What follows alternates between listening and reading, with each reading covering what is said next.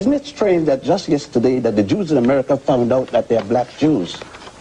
Isn't it strange also that you don't consider us Jews because when we go to Israel, you're still demanding that we must, quote unquote, reconvert. Who said we converted in the first place?